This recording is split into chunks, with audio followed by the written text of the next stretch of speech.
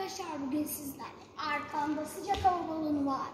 Sizinle sıcak hava balonunun e, nasıl çalıştığını bu şekilde bilim merkezimizde görüntüleyeceğiz.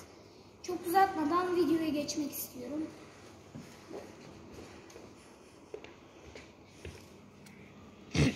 sıcak hava balonu.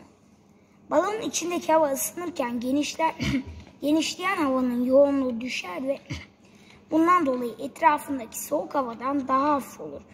Böylece hava balona da birlikte yükselir. Balonun içindeki hava soğuduğu zaman balon aç alçalır. Balonun pilotu balonun içindeki havanın sıcaklığını değiştirmek ve sıcak havayı balonun üzerindeki delikten dışarı salmak suretiyle balonun yerden yüksekliğini kontrol altında tutabilir.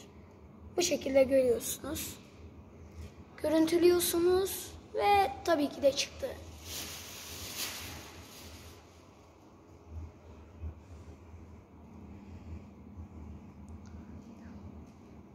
Tamam.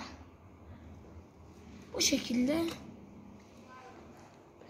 Evet, bir başka videoda sizinle görüşmek üzere. Hoşçakalın.